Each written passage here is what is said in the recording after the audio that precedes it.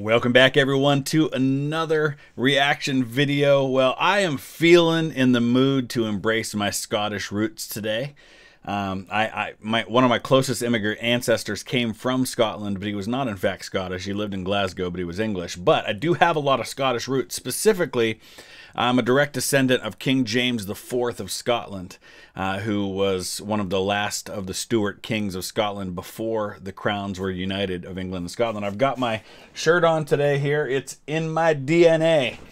Uh, so hello and thank you to all of our uh, wonderful supporters out there in Scotland. Today, we're going to take a look at one of my favorite YouTube channels. This is History Marche. They do a great job explaining some of the great battles of history, but also the background of those battles. And so we're going to look at one of the great victories of all time.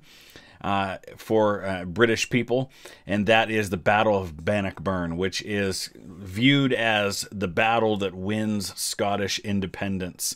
Uh, it was just a ridiculous victory, uh, outnumbered something like four to one.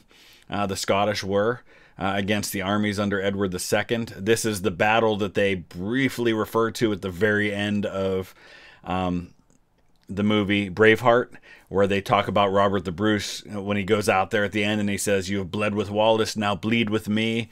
And they say they fought like warrior poets and won their freedom. Well, it was. It was a great victory. They inflicted, uh, I believe they killed twice as many Englishmen as they even had in their own army. I mean, think about that. There were like 6,000 Scottish soldiers in this battle, and they killed something like 12,000 of the English, which was half of their army. It was just, I mean, you, you cannot stress enough what a victory this was for Scotland. But more than that, there's a really cool moment that happens near the beginning of the battle that I'm sure we're going to talk about. It's one of those great moments of single combat where you have Robert the Bruce going up against Henry de Bohun uh, who's the nephew of one of the English commanders in single combat. And it's just such a, a surreal moment that I wish was portrayed more often in film because it's so amazing and it's one of those things made for Hollywood moments. So let's go ahead and dive into History Marche uh, and the Battle of Bannockburn. As always, the link is in the description to the original content creator. Please give them a like and a subscribe if you haven't already done so. And before we get any further, I do want to mention this did not, in fact, lead directly to Scottish independence. I'm sure somebody's thinking, no, that's not how it happened. It was 14 years later before the treaty was signed that actually granted Scottish independence. But this was the the last kind of major obstacle to Scottish independence. When they win this battle, there's really never again, at least not under Edward II, any significant threat to Scottish uh, independent rule. All right, let's dive in. Big shout for Audible for sponsoring this video. I love Audible, by the way. Fantastic.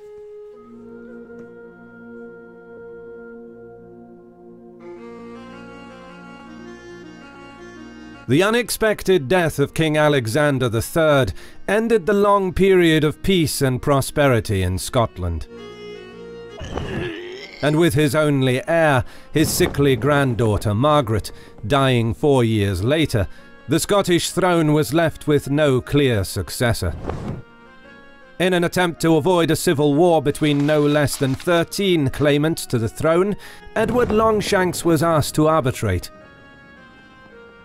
Realising that the possibility of controlling Scotland, as he did Wales and Ireland, was within his grasp, the English king ultimately announced in favour of John Balliol, whom he anticipated would be a reliable vassal. So yeah, so Longshanks is like, sure, I'll come help you out and arbitrate. And what he really wants is somebody who's gonna, you know, like you said, serve as kind of a de facto vassal uh, of the English Empire. And you know, to this day, Longshanks is remembered as the Hammer of the Scots. Uh, and of course, he defeats William Wallace. Eventually, has him executed uh, for treason, which is always kind of fascinating to me, since Wallace didn't view himself as an English subject. But uh, that's all stuff that we can talk about another time.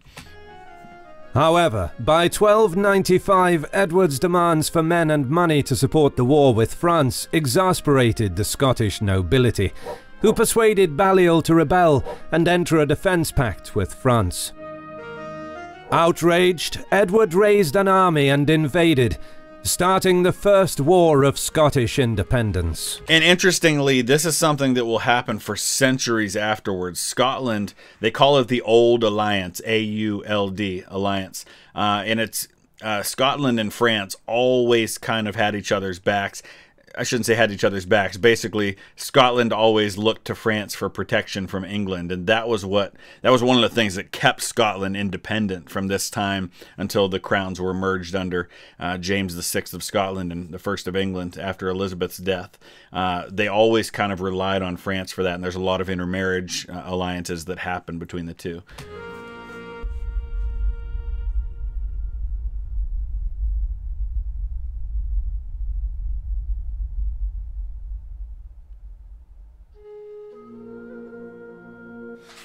As one of the strongest and ablest of kings to ever rule England, Edward crushed the Scots at Dunbar.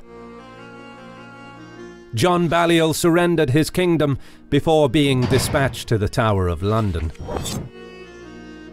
Although a well-garrisoned force was left to guard the conquered lands, disturbances broke out soon after when William Wallace fanned the flames of revolt across Scotland after he defeated an English force at Stirling Bridge.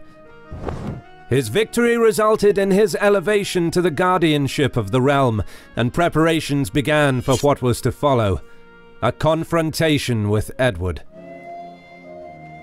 Determined to hammer the Scots into submission, the English king marched north, having previously signed a peace treaty with France. He mustered a powerful army and decisively defeated Wallace at Falkirk, With the throne still vacant in 1306, Robert the Bruce made a bid for the crown by killing his main rival, John Comyn III, in the Greyfriars Church. Yeah, and this was a big, big deal. And there's actually, uh, I think there's a, a scene in, there's a sequel, kind of a sequel to Braveheart, uh, starring, uh, starring I think it's Angus Macfadyen, who played Robert the Bruce in the movie Braveheart, uh, and it's really really good actually. Uh, I, th- I, think it's called the uh, Robert the Bruce. I think is the name of the movie. Um, and it shows that scene where uh, where he and John Comyn meet in the church, and Robert the Bruce ends up killing him in the church. And, you know, this was a big deal. Obviously, they met in a church because it was viewed to be a place of safety where the, no harm would come to them. Uh, and so Robert the Bruce, from this point on, is kind of the main claimant to the throne. And, and now he tries to unite everybody under him, but it doesn't really happen right away. Uh, and he ends up losing a bunch of family members. Uh, uh several brothers die throughout these wars that are to come. Claiming the throne of Scotland as the great great grandson of David I. With the support from a section of the Scottish church and nobility, he was crowned at Scone. But his rebellion got off to a bad start with a shattering defeat at Methven, where most of his loyal followers died or were captured and executed. Then at Dalry, Robert's retreating force was intercepted and nearly wiped out. Mm -hmm. With his position collapsing, he escaped to the tiny isle of Rathlin, where he set about reorganizing his resources. And if you watch the movie Outlaw King, I think they cover a lot of that in the movie on Netflix. It's really well done. Worse followed. Robert's sisters, his daughter and his wife Elizabeth, were captured and delivered into the hands of Edward I, and his brother Neil was executed at Berwick. In early 1307, he ventured back toward the mainland with a handful of followers. Meanwhile, his two younger brothers sailed for Galloway, intending to harass English communications between Carlisle and Ayr. But once they landed in Loch Ryan, they were ambushed, captured, and later executed. Robert, on the other hand, had success against the English at Glen Trool, and more significantly at Loudon Hill, which saw his following and his territorial gains grow significantly. Scottish fortunes took a turn for the better when the 68-year-old King Edward I, the Hammer of the Scots, died on July 7th, 1307.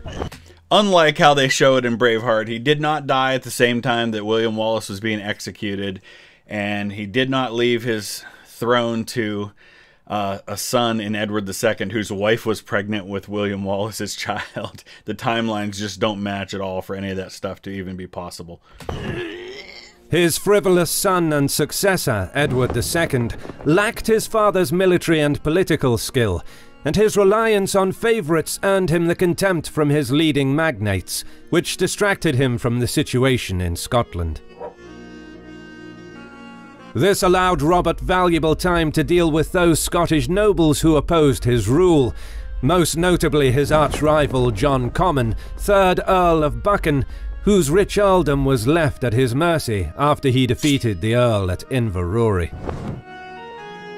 Robert took Aberdeen in the summer of 1308, making his hold on the northeast unassailable, and other nobles soon joined him, enabling him to turn his attention to driving the English from his kingdom.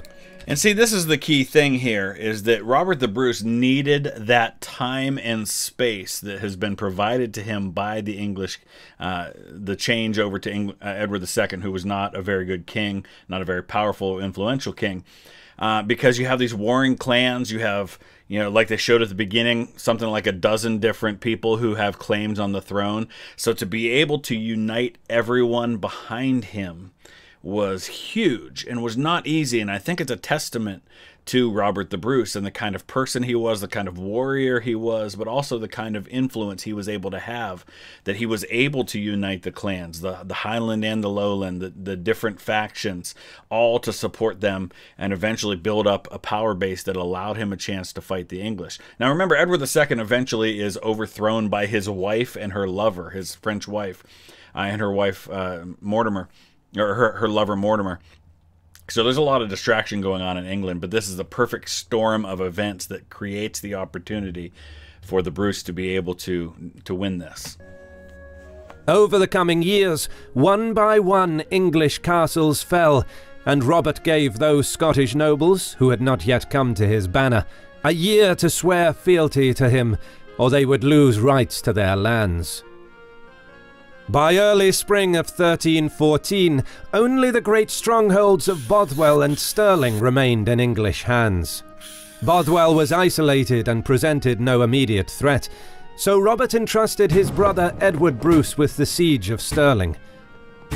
Philip Mowbray, the beleaguered governor, realized that the fall of Stirling was but a matter of time, and agreed with Edward Bruce that if he was not relieved by June hmm. 24th, he would surrender the castle. King Robert was displeased with his brother's chivalrous gesture towards yep. Mowbray, understanding that this deadline would spur the English into action. Yeah, it's he, what he's really doing. Why would you give a timeline? Why not just surrender? He's buying time, knowing that there's an English army that's coming to relieve the castle. Now, only a pitched battle would prevent the castle from being relieved, and Robert knew that this could undo all that he had achieved so far.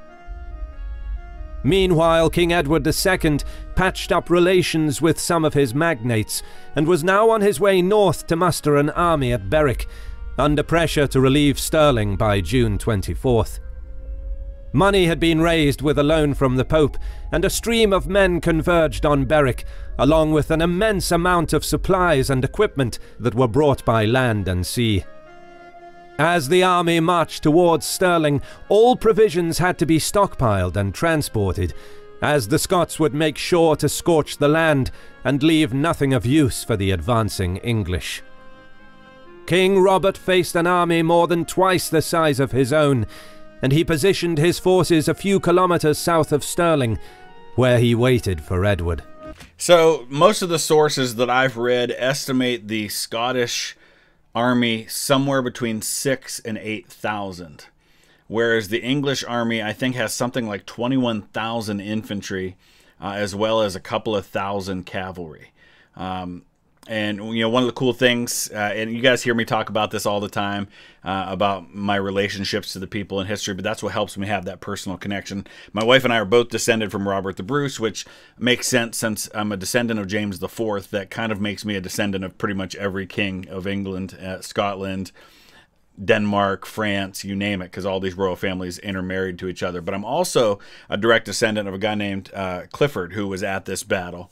Uh, and who was actually killed in the Battle of Bannockburn fighting on the English side. So, um, and this is one of the places, assuming UK US travel opens up this summer, I'm going to visit the battle battlefield at Bannockburn in July and bring you guys some video from that battlefield. I'm excited about it. But yeah, I mean, they're outnumbered more than two to one. It may have been three or four to one, actually.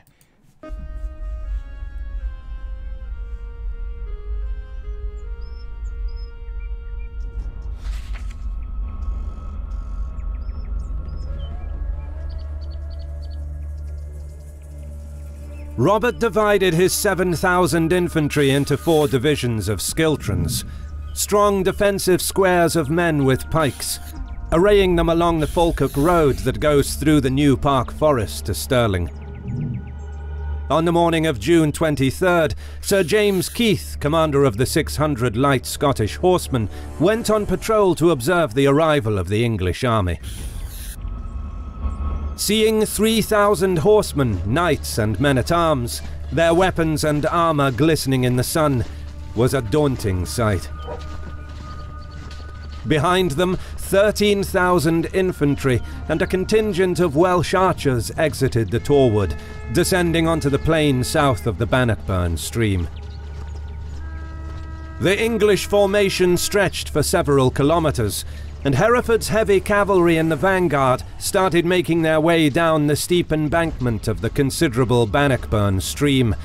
And after climbing up onto the road, they sighted the Scottish footmen, apparently retreating back into the woods. And I believe it's Hereford's nephew that gets into this instance of single combat with Robert the Bruce, which is coming up here in a minute, and just one of my favorite moments in all of history.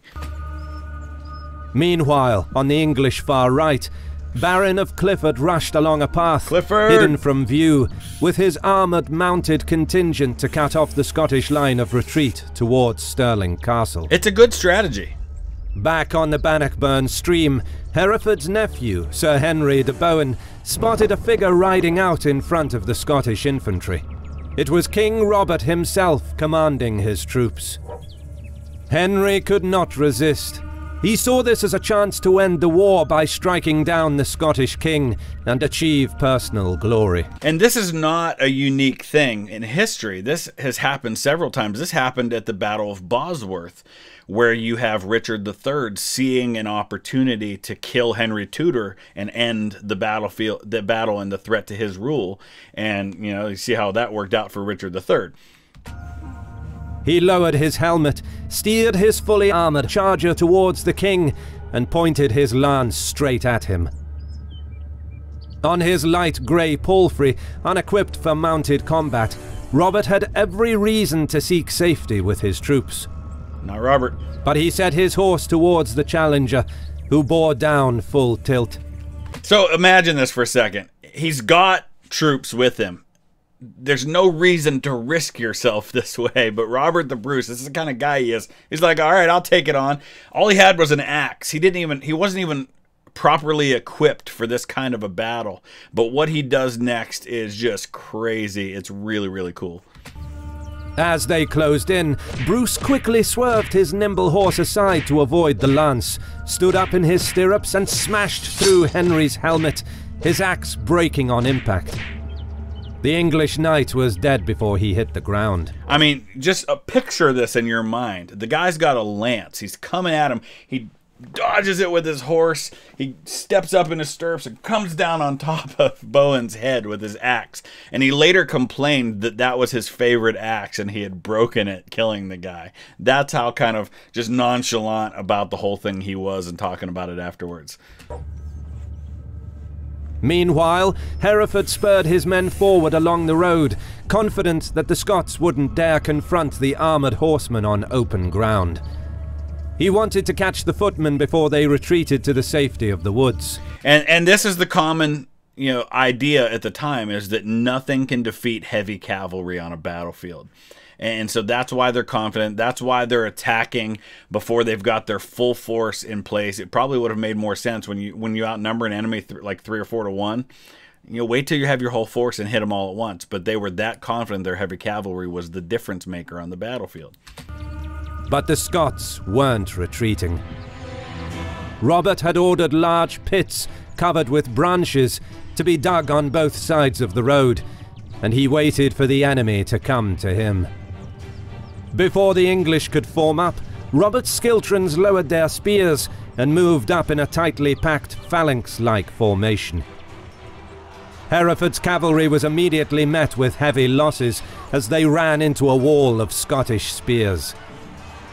As the rest of his mounted contingent tried to form up, they experienced considerable difficulties with the pit traps. Gloucester circled back with his mounted men, attempting to cross further upstream. Seeing the maneuver, Edward Bruce immediately moved to protect his brother's flank. Unsure about the extent of the pit traps, and with Edward Bruce's troops approaching, the English fell back. So this is brilliant because it keeps them from being able to spread out and, and hit Robert the Bruce's troops on his flanks. Uh, he tries to get around, but they don't know how far out these pits go. And, and then they see Edward Bruce coming up, so they decide not to support. And already this thing's falling apart on the English. Meanwhile, on the Scottish left flank, Randolph noticed Clifford's contingent almost too late. He quickly sprang into action angry with himself that he almost allowed the enemy to encircle his position. And remember, this was meant to be the intercepting force to stop the Scottish in their inevitable retreat. But now that hasn't happened. They're not retreating. They're not hitting a force that's retreating. They're hitting a force that's ready to go. He led his men out of the woods and towards the onrushing English. The Scots formed shoulder to shoulder as an impenetrable wall of spears. Clifford's cavalry circled around their formation, launching attack after attack without success, and, in their frustration at not breaking through the Schiltron, the knights hurled spears, darts, and maces, even their swords, at Randolph's men, in a vain attempt to maim enemy troops. So they can't break through the line, so they're just riding up and throwing stuff at them, throwing spears, throwing their swords. They're just frustrated that they can't use their cavalry to break through these schiltrons. It's uh, you know, it's kind of the form square idea, and this is where a lot of that happens. Douglas, meanwhile, left the woods with his spearmen and slowly advanced. Now you got spearmen This coming lifted the pressure cavalry. on Randolph as some of the English cavalry wheeled about to meet the incoming enemy. Randolph seized the opportunity and assumed the offensive, charging right through the English ranks. With their formation broken and with fresh Scottish infantrymen approaching, the English heavy cavalry dispersed. This brought the fighting of June the 23rd to an end. Although the English losses weren't heavy and they still retained their 2 to 1 numerical superiority, their morale took a big hit after the two clashes. With the day drawing to a close, King Edward's troops needed a place to encamp and the horses needed to be watered. He decided to move all of the cavalry and about a half of the infantry into a marshy area across the Bannockburn, while the remaining infantry and the baggage train would encamp south of the stream. Meanwhile, Robert Bruce gathered his officers for a council of war. Despite the successes of the day, harsh past experiences taught him to avoid pitched battles against heavy cavalry, and he considered withdrawing deeper into the rugged Scottish wilderness, where it would be too hard for the English to follow. But as the talks went on, a Scottish knight in English service defected and swore fealty to Robert Bruce. Hmm. He informed the king that the English are demoralized and disorganized, pledging his life that if Bruce attacked in the morning, he would have victory. Robert that's that's gutsy. I mean, because it would be easy for them to think you're a spy. You're coming here to try and draw us out into a battle. Uh, boy, I don't know how I would have felt if I'm in Robert's position. If I would have believed this guy. turned to his officers, saying, Shall we fight or not?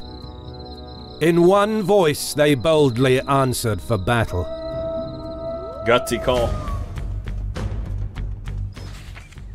On the morning of June 24th, among the English, a mood of caution replaced the earlier presumption of easy victory.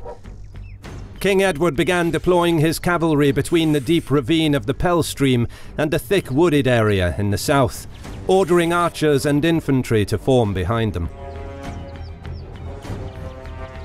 King Robert the Bruce then gave the momentous order to advance across the open field against the mighty English army, more than twice the strength than his own, and with far superior weapons. The seemingly suicidal plan of advancing with infantry against heavy cavalry was only possible because of the innovative way in which Robert trained his schiltrons to move forward in echelon formation. He hoped that the English would still view his formations as defensive and wouldn't appreciate just how vital their mobility was for his plan of attack. As the Scots moved slowly to keep their cohesion, Robert sent his archers forward to divert as much attention from his spearmen as possible. Hmm. And the ruse worked, as English bowmen responded by shooting at Scottish archers instead of the infantry formations. Sucks to be the archers, though, right? You send these archers out forward, and they're you know probably the the lightest armored of anybody on the battlefield, and they're the ones that have to take the English archers' uh, fire. As the English were still forming their lines, their commanders argued over who should lead the cavalry attack. Refusing to wrangle for too long, Gloucester charged headlong across the open space between the two armies, followed by Clifford and many other prominent knights. As they crashed into Edward Bruce's Schiltron, Gloucester and his comrades were instantly killed by the wall of spears raised to meet them. Idiot. Most of the cavalry contingent was annihilated in a matter of minutes. This is what happens when you seek glory instead of working together as one and that makes a difference on this field because Robert's all about keeping his units together, having a plan where one unit's complementing another instead of people just trying to fight for glory for themselves. The Scottish bristling hedge of steel-tipped pikes now pushed forward. A succession of spirited attacks were mounted by the English, but they weren't able to break the Scottish formation.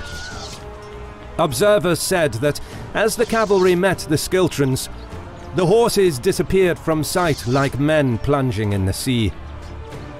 Slowly but surely, Edward Bruce's formation reached Bannockburn and anchored its position to the stream, allowing other Schiltrons to push forward. Robert now planned to trap the English between the two streams. Meanwhile, all the infantry. For hours, the fighting continued as the Scottish there. spearmen held their ground against bruising rushes of horsemen.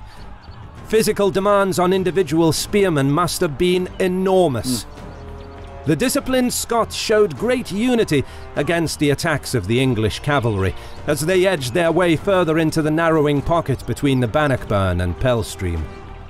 So far, the English archers, who could have potentially broken up the Scottish formations, weren't utilized properly. And they're not using their infantry either. They've got a two to one infantry advantage on this field, and they're all they're doing is fighting with the cavalry, and it's not working. At what point do you say, okay, let's try something different? Pull the cavalry back, send the infantry in. But someone finally ordered them to shoot at the Schiltrons. However, with Scottish ranks being so narrow, the arrows now flew harmlessly over them. The bowmen were then ordered to shoot past the cavalry, directly at the spearmen. This also failed, as English horsemen towered over the Scottish footmen, in effect shielding them from arrow volleys and finding themselves in the line of fire. Mm. Nevertheless, arrow volleys continued as English archers gradually moved across the Pell Stream to get a better angle. Seeing this, Robert ordered his light cavalry under Marischal Keith to try and disperse them, recognizing the danger archers could pose for his spearmen. Good move. Meanwhile, the Scots closed the pocket between Pellstream and Bannockburn, effectively trapping the English between the deep ravines of the two streams. After crossing the Pell Stream himself, Keith's light cavalry galloped with their lances levelled towards the English archers. The bowmen were overrun, and those who weren't killed fled across the stream. Keith continued to patrol up and down the Pell Stream, to prevent any further flanking attempts by. And meanwhile, English infantry still sitting here, still sitting over here, not doing anything. By archers. As the hard fought battle reached its savage attrition stage, the push of the exhausted Scots slowed, and Robert now played his full hand by sending his own two schiltrons forward, aware that he could not afford a stalemate. Some filled the gaps in Douglas's spear lines, while others leaned with all their strength against the backs and shoulders of men whose knees were buckling after hours of mm. fighting. The English finally began giving more ground. With the outcome now virtually certain to go against them, English leaders were determined to get their king to safety, as the Scottish spearmen were close about him on the front line. The withdrawal of 500 knights to protect the king not only guaranteed defeat, but triggered an undisciplined flight by many others.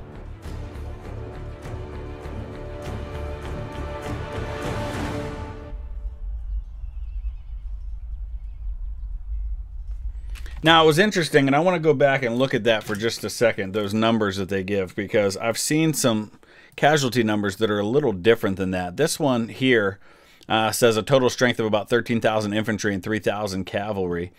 Uh, where uh, in losses 4,000 infantry, uh, mostly killed or drowned in the Forth River after the battle. Because, yeah, the infantry really didn't fight in this battle. I've seen numbers as high as 21,000 infantry engaged or at the battlefield and 11,000 infantry. Uh, that actually died. So I guess, you know, like all battles, like all historical events, especially ones from 700 years ago, we really don't know for sure. Uh, we have varying uh, reports, and obviously the Scottish reports are going to inflate the English deaths and the English numbers, whereas the English reports are going to downplay those. So we really don't know for sure, but regardless, it's a great victory no matter how you look at it. To protect the king not only guaranteed defeat, but triggered an undisciplined flight by many others.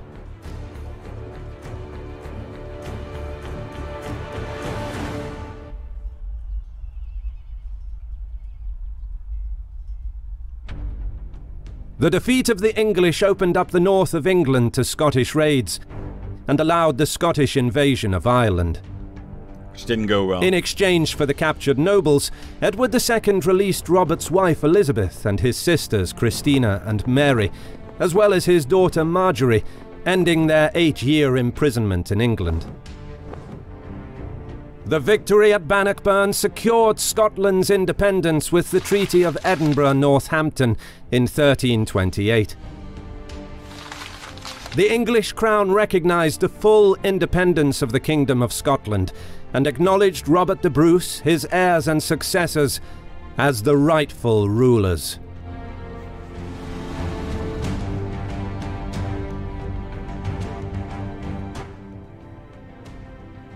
So um, yeah, and and like he said at the beginning, and he said again, Audible's fantastic. Uh, you know, spending a lot of time traveling. I listen to Audible all the time, so uh, it's cool that they're being supported by that. I want to show you just in looking at my own family tree how.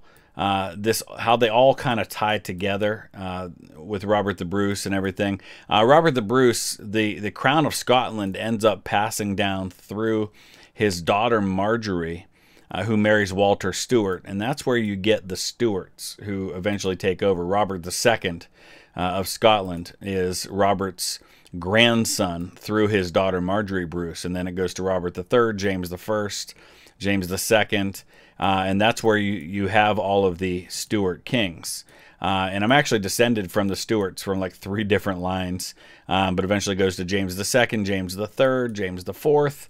Uh, James IV marries the sister of Henry VIII, uh, but I'm descended actually through one of his mistresses, a woman named Marion Boyd, um, and, and, through that line. But just a fascinating, fascinating time in the history uh, of uh, Britain. And something that uh, I'll definitely be covering more, especially when I go to Scotland, hopefully in July. Uh, and if you want to help make that happen, you can support this channel through Patreon uh, or through the GoFundMe. The links are in the description below. Uh, all of that money goes directly toward my travels to help create original content for the channel. Please hit like. Make sure you check out History Marche. Great stuff. We'll see you again soon. Thanks for watching.